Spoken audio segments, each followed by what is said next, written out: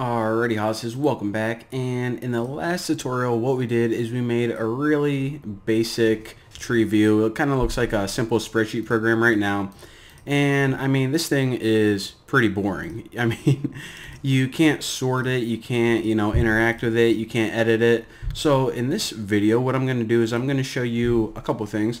First of all, how you can make those columns sortable, which is the easiest thing ever, and also how you can handle callbacks. In other words, um, handle user interaction. So whenever they select a row something happens. So this is all the code from the last tutorial. I just took all the comments out since it was kind of cluttered.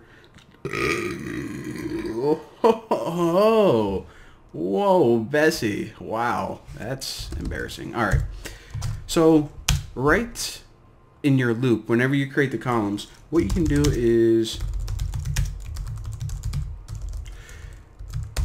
I'll show you the code to make them sortable. So for each column, what you do is you actually set sort column ID and you just pass it in the ID of that specific column, which is, remember, I. So actually, we can just run this right now and check it out. So that way, you know, before we couldn't sort them, but now if you click at the top of any column, then it orders. So if the column is just regular text like um, you know letters, then it orders it alphabetically. And any integers, it orders it numerically, so on and so forth. So that was the easiest thing we've ever done. And now let me tighten this up. And let me move this right here. Sound like my code all cluttered. Alright. So now we got some cool columns that we can sort, but we still can't handle user interaction. In other words, whenever a user clicks one of these rows, nothing happens. So it's just, you know, data that they can look at right now. Well, anytime you want to handle user interaction, then this is what you do. Say handle um, selection. Good enough. So the first thing we need to do is we need to get whatever row the user selected. So in order to do that, for your tree view, all you call is get selection. So this is going to return whatever row they selected, either this one or this one, whatever. So from there, we can connect a callback method. So selected row, and I'll just connect the changed signal and we'll just call like self item selected. Alright, so the change signal, of course, is a signal that gets emitted whenever the user selects, or in other words, changes a row.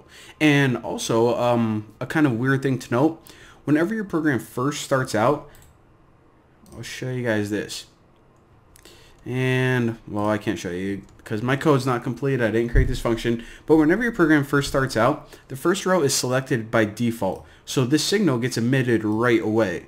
So just uh, keep note of that. If you notice that something weird's going on in your program and you didn't call it specifically, it's going to call this method essentially as soon as your program first boots up.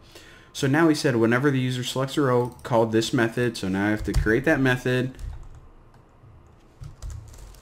Alright, so I'll say uh, user selected row. Toe. User selected his toe. Alright, so def item selected and we need pass it in self and selection. Now the selection of course is just going to be a reference to that row and here let me do this. Selection get selected. All right. So essentially your selection is broken up into two parts. The model, which is the entire data model, and the row, which is a reference to that row. So with those two pieces of information, we can pretty much pull out whatever they selected really easily. So if row is not none, and this is just so we don't get any weird bugs, then we can just print out their information. So name and in order to access a specific column or let's say they selected um, this row but we only want to access like their name or their age and do something with it then what we do is this we call model which is the data model, and the row, and what value this is doesn't matter. I mean, we never know explicitly, is it row 10, 13? We just pass in row and it takes care of it, and 0.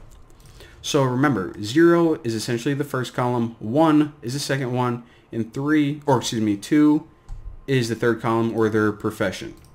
So let me just copy this and just print out uh, name, age, job, and blank.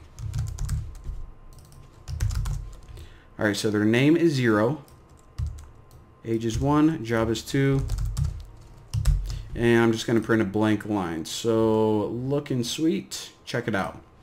And uh, it's trying to print out an integer, so I can actually do this. Do it the real lazy way. So if you're ever trying to print out an integer and it gives you this error message, type error can't convert int to string implicitly, you can either print it out like this or what you can do is you can do this. Just type str and then throw your integer in there and it's going to take that integer and convert it to a string. So you know whatever you want to do. So now hopefully check this out. So you know what I was saying before that whenever your program first boots up it selects the first row by default. So that's why this printed it out right here before we even clicked anything inside the program. And now what I can do is I can just start clicking these and they print out so boom, and it prints out however you formatted it. Or maybe you don't want to print something out. Maybe you want to, you know, start downloading something or start sending messages to whatever, whatever your program does. And also, check this out. It doesn't matter if we, you know, sort these however we want. All of the IDs, they never get messed up. Bucky Roberts still prints out properly. Emma Anderson, looking good. So that, ladies and gentlemen, is not only how you make a tree view, but the model behind it, which is the list store, and how everything is automatically connected, all the hard work is taken care of, and it's also how you can, you know, make your column sortable, select, you know, handle the user selection, and it's pretty awesome. So in the next tutorial, we're going to be covering something else. I'm sure you guys are getting kind of tired of tree views, but for now, thank you guys for watching, and I'll see you guys next time.